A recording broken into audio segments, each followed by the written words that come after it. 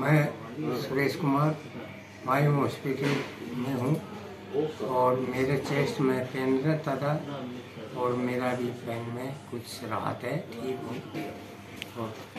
Physiotherapy चल रही थी आप फिजियोथेरेपी चल रही है उससे मेरे को बहुत राहत मिली।